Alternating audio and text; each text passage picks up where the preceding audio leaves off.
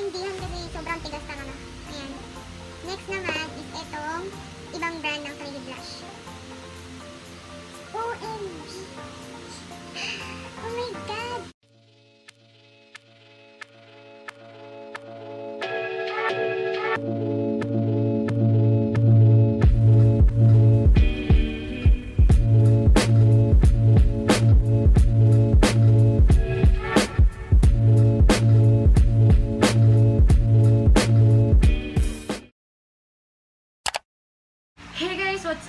It's Mitch again and welcome back to my channel. At hindi ka pa nakaka-subscribe, subscribe mo na yan. For today's video, I will be doing a review about these two products. Kung ano yung pagkakamukha niya, kung ano yung pagkakaiba niya, kung ano yung mas maganda. So, di ba, yan ang gusto nyo. So, una, itong Luna Organics at saka itong Glamorous na Clay Blush. So, ayun, let's start. So, una muna itong Luna Organics. Ang bili ko dito is 220. Sa amoy, amoy bubblegum siya. Sabi nila pag daw legit, amoy bubblegum talaga. amoy bubblegum. Tapos, pagka pinaikot mo siya ng pinaikot ng pinaikot ng pinaikot, tataas siya. Tignan natin ang mga hanggang saan.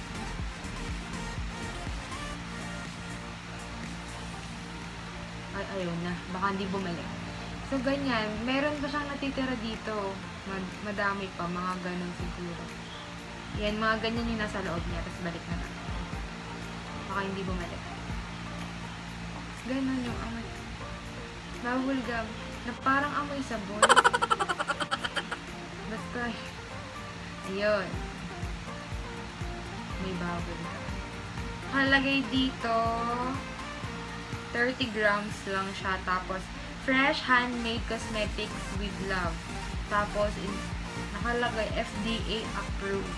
Yun yung hinahanap ko sa mga products kung FDA approved siya or or keme lang nila yun. Ganun.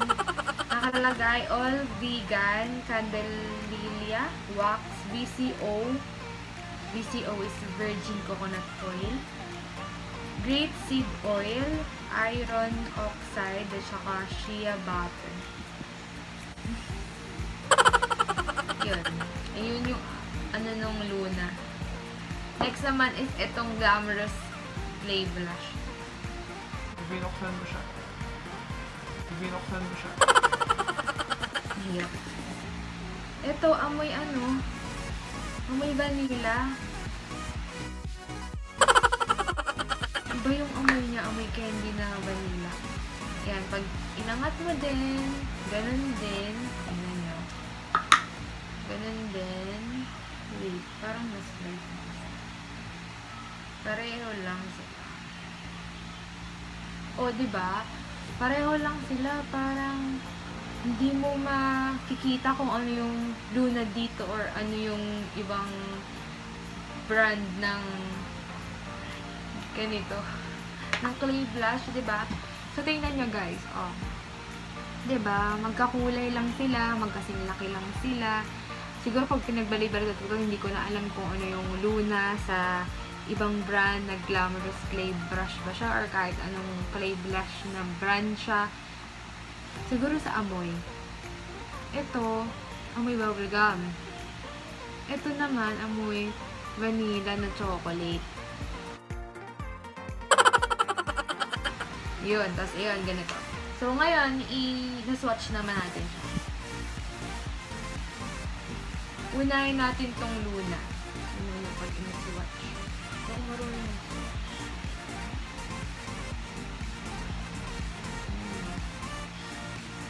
Ganyan yung kulay.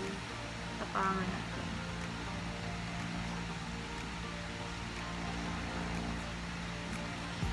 Ayan. Ganyan. Ito yung Luna. Ganyan yung kulay niya pagka in-swatch siya. Ayan. Siguro tindihan.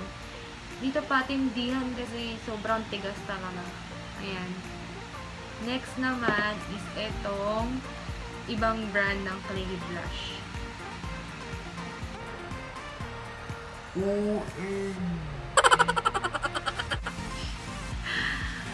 my God! Ang lambot nitong ibang brand.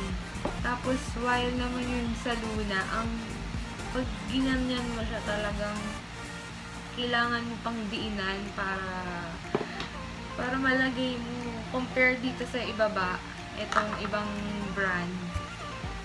Malambot siya hindi siya matigas. Ganun. Madali siyang i-apply madali siyang i-ganun.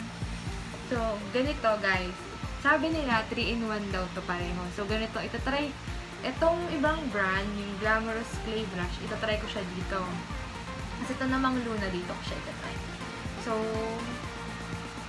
umpisahan natin sa lips. Pwede daw. So, gagamit ako ng brush. Kasi, alam niyo na, mahirap pagka, ano, kailangan diinan. Kailangan mo na salamin. Kailangan diinan nyo kapag dun sa isang to.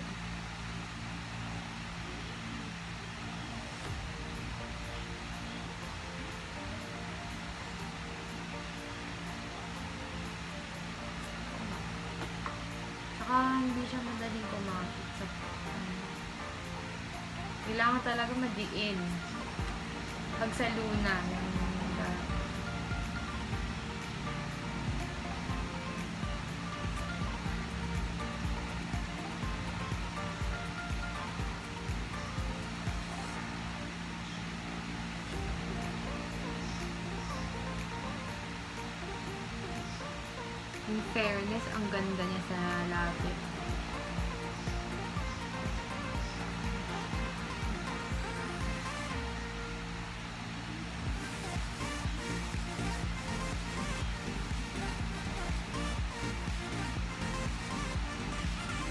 guys, habaan niyo lang talaga yung pasensya niyo kasi ang hirap niyang ganunin kasi talagang matigas.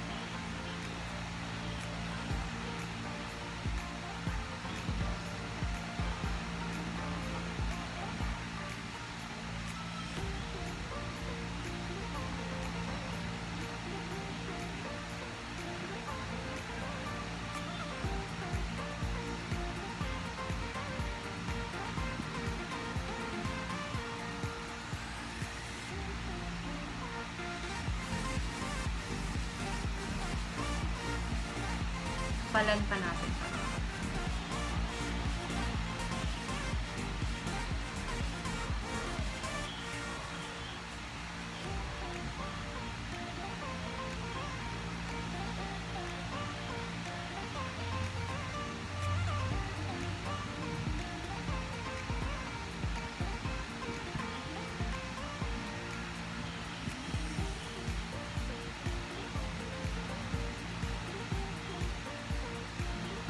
Ayan. Guys. Ayan yung itsura niya. Ito. Ayan. Ito yung ano ah, yung Luna.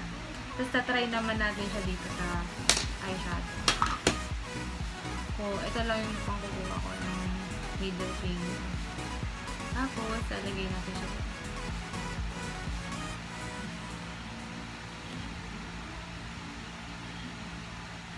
Top niya lang.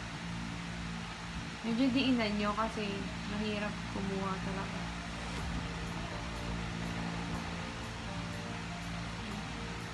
Oo ah. In fairness, maganda din siya sa eyeshadow. Ganda na hanap kong eyeshadow eh. Yan, nakita niyo na ba?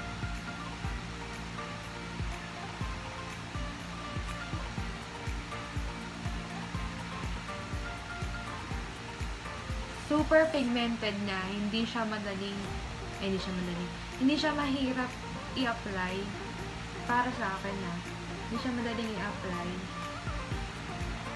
I, I mean, hindi siya mahirap i-apply. Yung Luna. Nakulay agad. Yan, o, diba? Kita niyo naman. Oh. Tapos ito yung sa lips. Tapos try naman natin siya dito sa cheeks. So, yun. Mahirap ang.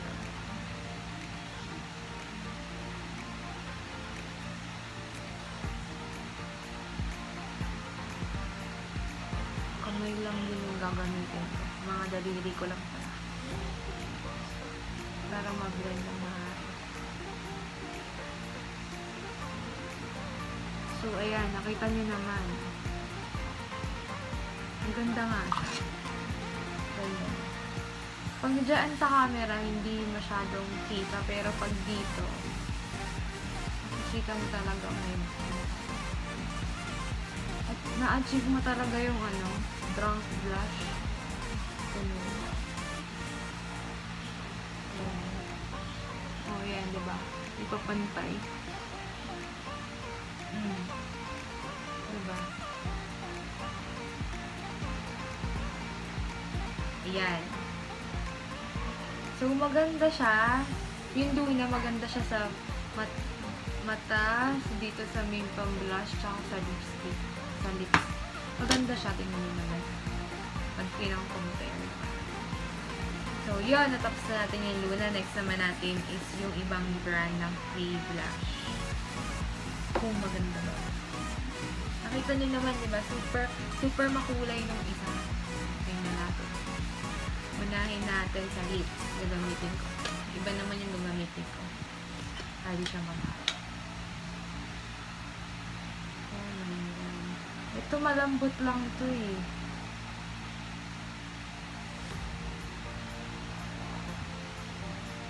Tingnan nyo. Kumukulay siya agad, di ba?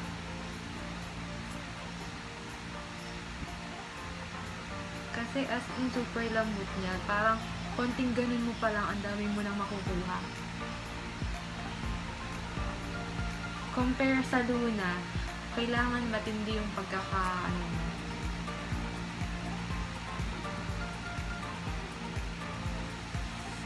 pagkaka-swipe mo. Swipe o swatch. Na, parang ganun. Ito, parang ma-red.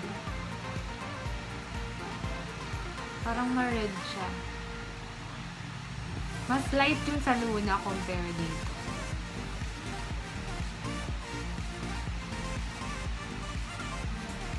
Ayan.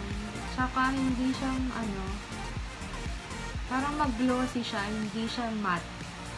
Kasi yung sa Luna, talagang pag in-apply mo, parang matte siya, hindi siya yung mag-glossy, ganyan. Compare dito sa ibang brand, mag-glossy siya. Yun na yan, nakikita niyo diba? Hindi siya matte. Medyo nagmo-moist.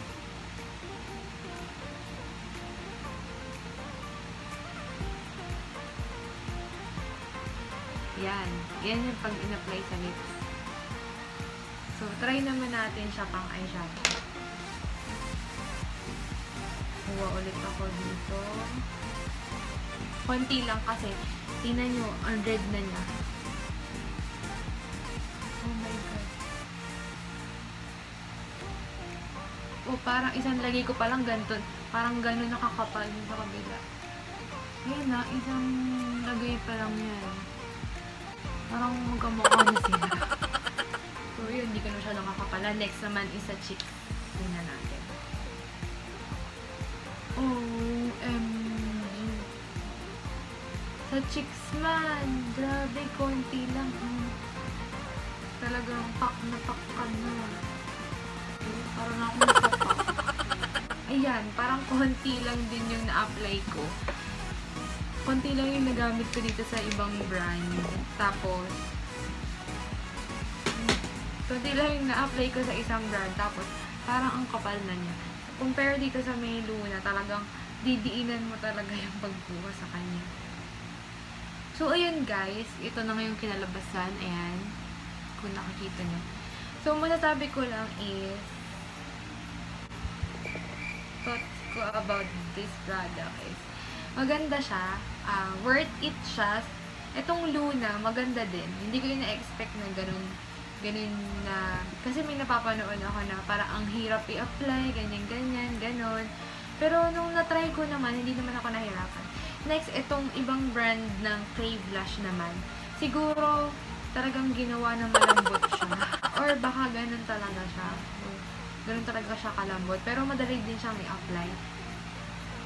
Worth it naman yung 170 ko dito sa isang brand ng Clay Blush. Tapos, ito naman sa Luna, worth it din naman yung price. Matagal mo din siyang gagamitin. Tsaka, hindi, hindi, na, hindi na siya masama sa 220 or sa 170 kung 3-in-1 mo naman siyang gagamit, di ba? Medyo madilim na kasi medyo may bagyo. Sensya niyo na. Wala tayong ilaw. So, ayun. Sulit naman siya. Yun naman yung masasabi ko sa dalawa na to. Kasi pwede siyang gamitin sa pang eyeshadow. Pwede niyo siyang pang blush on. Pwede niyo siyang pang lipstick, di ba? Parang eto lang, solve ka na. Tapos magdala ka lang ng polvo, ganyan, di ba? Parang okay na. So, ang masasabi ko lang talaga is, maganda siya. Yun. Nag-enjoy akong gamitin siya. Okay siya. Wala akong masabi na negative sa dalawa na to. Pero, again guys, magbibili kayo, just make sure na trusted yung pagbibili nyo at saka hindi kayo mapapahamak. Yun ang unang-una nyo titingnan. 'Di ba? So, ayun, nakita niyo naman.